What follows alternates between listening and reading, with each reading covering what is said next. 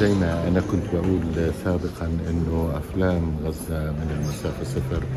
هي مش فقط مجرد أفلام هي كمان تجربة للمعايش مع اللي بيصير في داخل غزة خصوصا إنه السينمائيين اللي عملوا هاي الأفلام عملوها.